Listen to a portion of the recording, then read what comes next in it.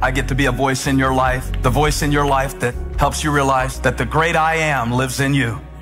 And whatever he is, you are too.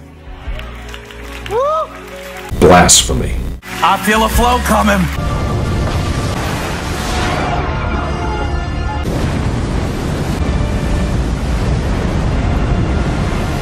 Steven Furtick is a heretic.